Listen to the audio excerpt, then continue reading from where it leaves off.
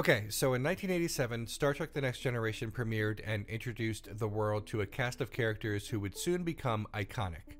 Commander Will Riker, the hotshot young first officer and ladies' man, Lieutenant Worf, the warrior with the heart of gold. Among this new crew of the Enterprise was Dr. Beverly Crusher, chief medical officer and mother to acting ensign Wesley Crusher. Crusher was played by accomplished stage actor and choreographer Gates McFadden. The stage has a different atmosphere than television, and when McFadden would bring her concerns and notes to the writers, they thought she was being difficult, a common patriarchal refrain among men in charge with regards to women. Head writer Maurice Hurley fired McFadden between season 1 and season 2, and a new doctor was introduced, Dr. Katherine Pulaski, played by veteran Star Trek actor Diana Muldaur. To this day, Star Trek fans have a deep dislike for this character, partly because she replaced a beloved Trek character in season 2, but also because of her contentious relationship with breakout character Lieutenant Commander Data, the android with a dream of being human.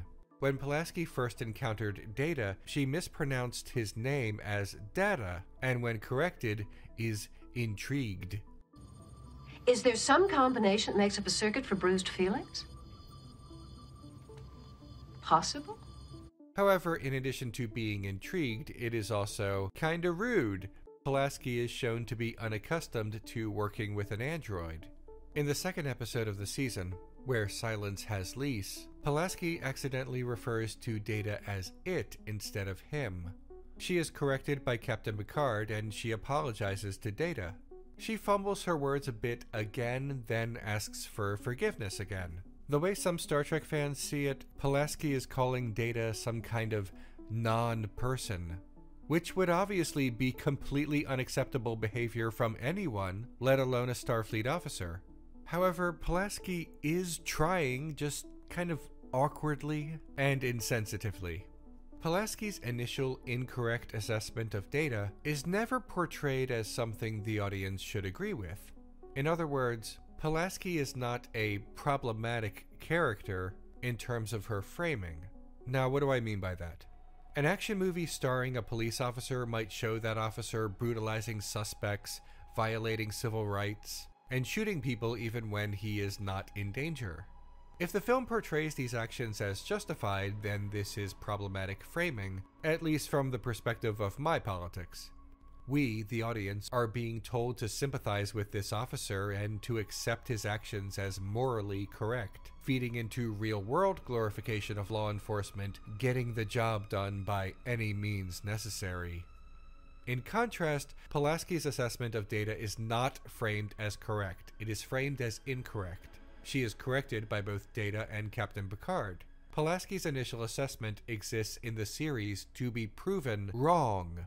There is no nuance here that could suggest that Pulaski's assessment of data could be correct. It's entirely black and white. That's usually how Star Trek works. Episodes are often science fiction fables. The lesson here is that Data's view of himself as a fully realized person is accurate, and Pulaski's skepticism of Data must be rejected. And that is exactly what happens throughout the course of Season 2. See, because Data is so beloved and because Pulaski's initial behavior toward Data is so surprising, Star Trek fans sometimes remember only their initial conflict and not anything that happens afterward.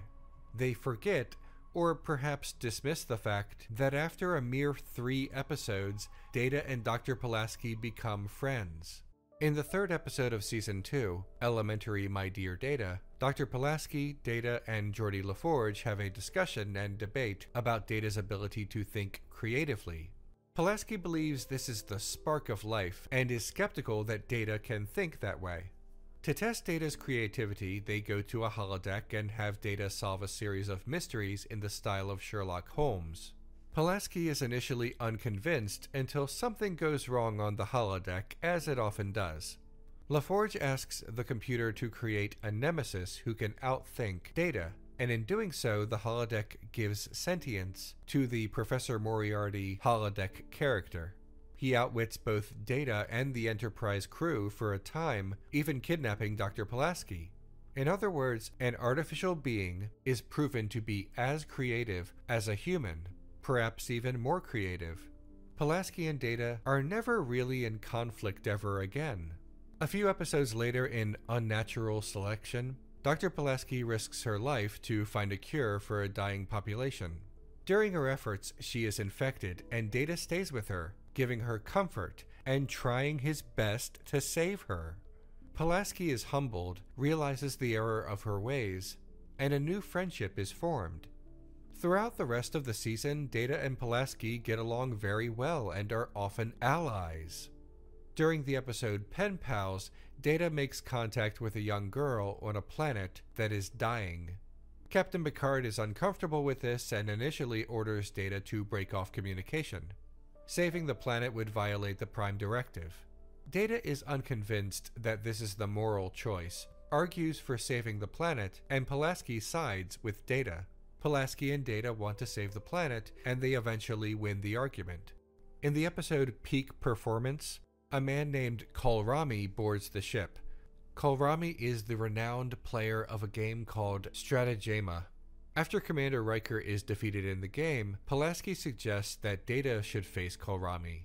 She encourages him to play the game, and though Data loses in the first match, he brings Kolrami to a stalemate during the rematch. Pulaski is so proud of him. In The Measure of a Man, when it looks like Data will be forced to resign from Starfleet, Dr. Pulaski is a guest at his going away party. Over the course of her only season, Dr. Pulaski reevaluates her assessment of Data, shows him gratitude, realizes her own failing, and becomes both his friend and supporter. It's a very Star Trek lesson. Her earlier behavior toward Data is never excused, nor should it be. It is always framed as wrong, and Pulaski's new outlook on Data is always framed as right. Now, people in the real world are under no obligation to forgive those who mistreat them. But the series is not saying they have to. It's only showing a fable, it's just showing right from wrong, and showing the potential for a person to change. Discussing Pulaski among Star Trek fans always seems to follow a pattern of outrage stemming from misremembering the character, misremembering how she was meant to be framed, and judging her as if she were a real person and not a character in the midst of an arc. Liking a Star Trek character is not approving of everything they ever did. See every great supporting character from Deep Space Nine. I prefer Dr. Crusher to Dr. Pulaski like everyone else, but I still wonder what the series would have been if the change had remained permanent. If Pulaski had not been replaced by a returning Dr. Crusher in season 3, fans would probably think of her differently, but because of how beloved Data is and how brief Pulaski was part of the Enterprise crew, her character is consistently reduced in Trek fandom as that mean lady who is rude to Data for two episodes. Let's have a little fun and dig a little deeper. In the Icarus Factor, it's revealed that Dr. Pulaski once dated Commander Riker's father, Kyle. As they catch up, we learn that Pulaski has been married three times, but all three marriages ended without acrimony, and she remained friends with all three of her ex husbands. I just think that's kind of great. This is a great episode for Dr. Pulaski. It shows her to be really mature, sensible, good natured, far more than what people remember. In Up the Long Ladder, we learn that Dr. Pulaski has always been fascinated with Klingon culture and forms a bond with Worf. I would have loved to have seen more of that in season 3 or 4, but all we get is this one scene, and it's pretty good. When Worf is suffering from a Klingon ailment more common among children of his species, Pulaski covers for him and keeps his secret from the captain. Later, Worf allows Pulaski to take part in a sacred Klingon tea ceremony the tea is actually lethal to humans, but Pulaski risks it, taking an antidote and hoping for the best, respecting Worf's culture too much to refuse. So, yeah, I do like Dr. Pulaski. She's a good character. Not good like always morally good. I love Garak too, and he has probably assassinated a lot of people.